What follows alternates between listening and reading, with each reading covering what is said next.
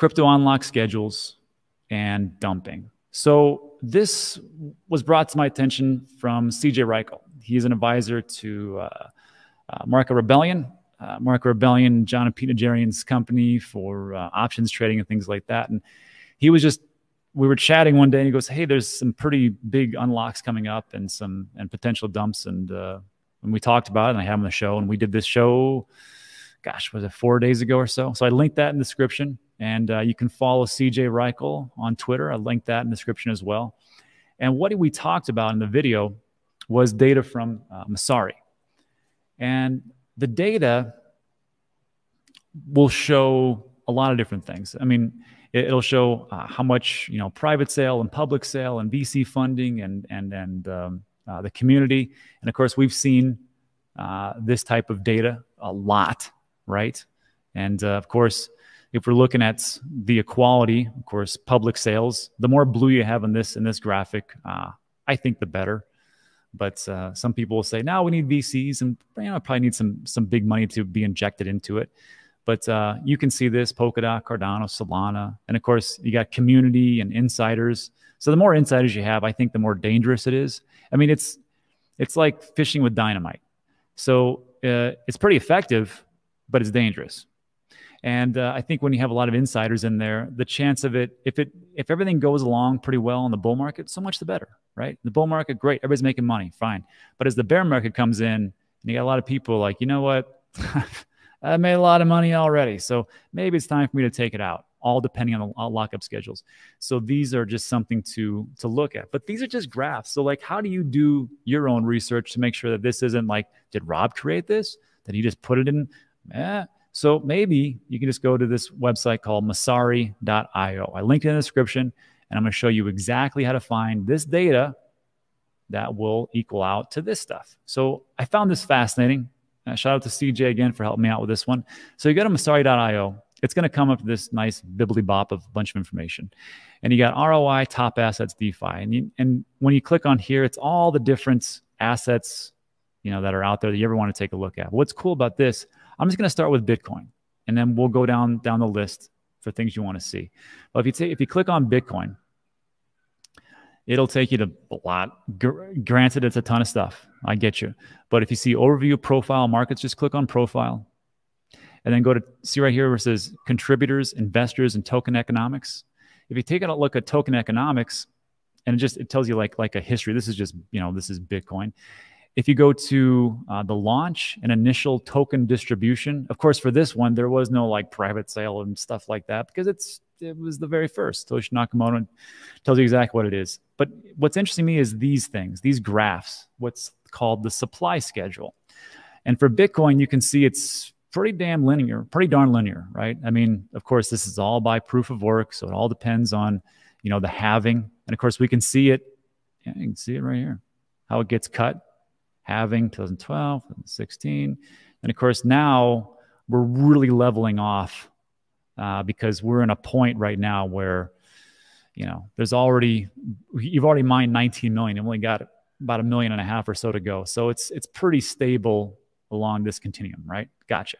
So that's the supply curve. And, and of course, there was no uh, private sales. So let's go back real quick. Let me just click on Messari there. Let's look at Ethereum. So if I click on Ethereum, and the same thing, I'm going to click on Profile. I'm going to click on Token Economics, uh, ba, ba, ba, the launch and initial token distribution.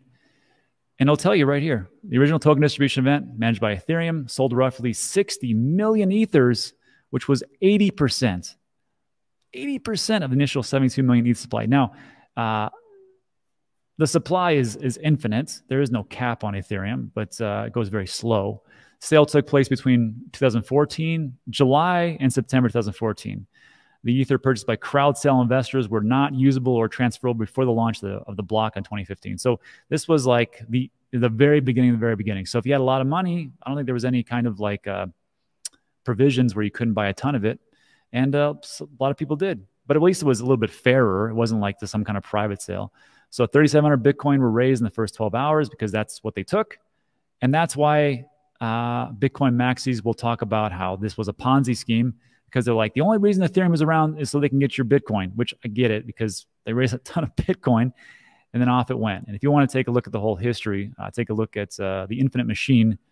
Uh, it was a it was a behind the scenes look at uh, how Ethereum was created. Anyhow, so three million were allocated to a long term endowment, six million were among 85 developers, and so on and so forth. So founders and projects, 60%, 83% went to that crowd sale. Here's the supply schedule. And you kind of see it. I mean, this one looks fine too, right? 2015 is when, when it got released. And you saw a lot of people come in, and you can just see that 22, let's see, rewards, the crowd sale participants, 64%. And it looks okay. And where are we at now? Around here. So we don't see a huge increase in unlocks. It, that's not how it is. That's how Ethereum is. So it's very linear, pretty darn safe, in my personal opinion. Now, let's take a look at something else. Eh, let's take, I'm going to skip forward to Algorand. So, Algorand, I'm going to click on profile and I'm going to click on token economics. And it's going to tell you exactly what it is the launch and initial token distribution.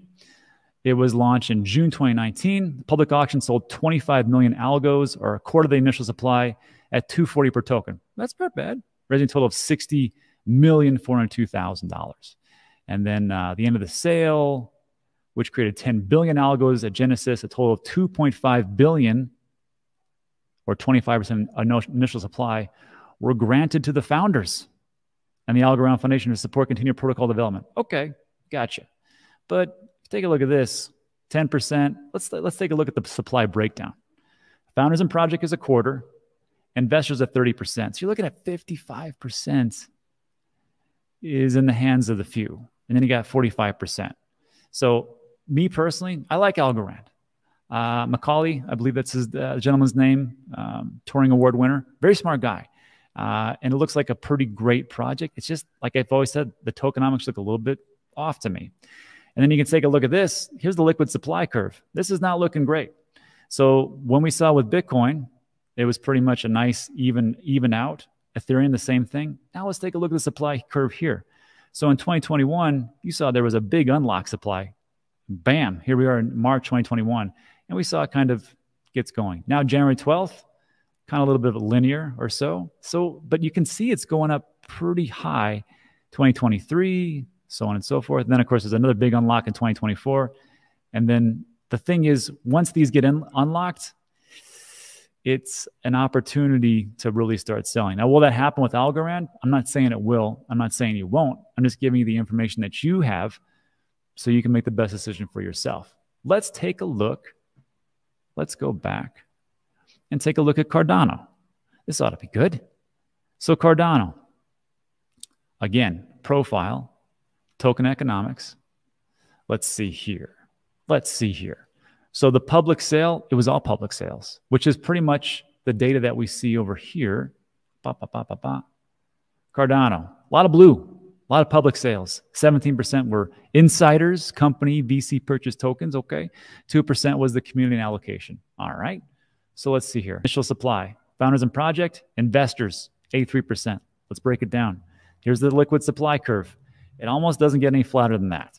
Let's just be honest. And there's a lot that's actually locked up right now. So as far as like supply curves and and unlocks, first of all, you can unlock. There is no lockup periods. It's already already out there essentially. And of course, for if you want to stake it, there's no like lockups like Avalanche. You just take it out and you want to sell, it, you sell it. But very even kilter, not too bad. Now let's take a look at Avalanche. Where to go? Avalanche profile, token economics. Here we go. 360 million AVAX were minted and sold through public and private sales. All right.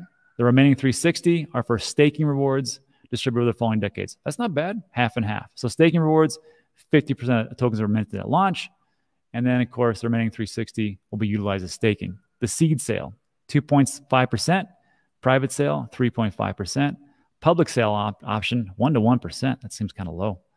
And then, of course, oh, that was an A1, 1%, then 8.3, then public sale 0.67. Foundation, it doesn't matter. Let me just go over here. So again, founders and projects, that's a lot. 20%. Investors, 16%, but 64%. Here's the issue the steepness of this supply curve. And you can see it. I don't have to, I mean, the things that we just took a look at, the steeper that the, the supply curve is, the more chance you have it for it to unlock and potentially be dumped. And that is just something that is what it is.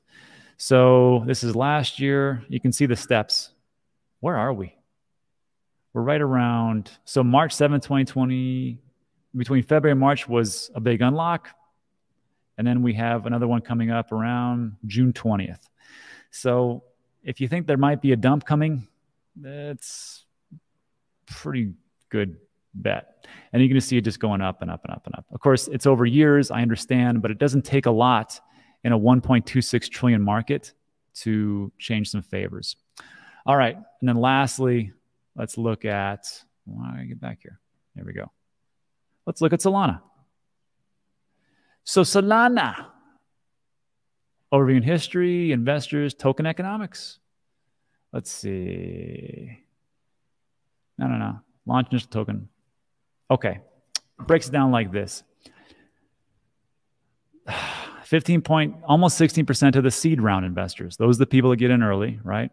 2.6 to founding, to founding sales investors. So you're looking at almost 20%. 5% to, val- to validators, which I got to tell you, it's super hard to be a, that's not super hard to be a validator. You got to have a ton of Solana to be a validator.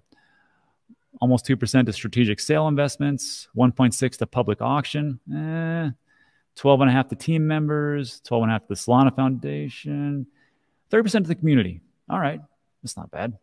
So here again, what we got founders and projects and investors pre-mine rewards and airdrops. So I like that part. But 25 and 37, I'm not too sure. Here's a supply schedule. So I know people are worried about it, but in all honesty, the big supply unlock already happened. So we had December 14th, December 28th, 2020, and then January 11th, 2021. That was the big unlock. And you probably saw a little bit of a dip, but that's what it is. But if you can take a look here, it's actually pretty stable. And you can just take a look as far as things move along. Staking rewards, founders. Where are we? Let me go to here.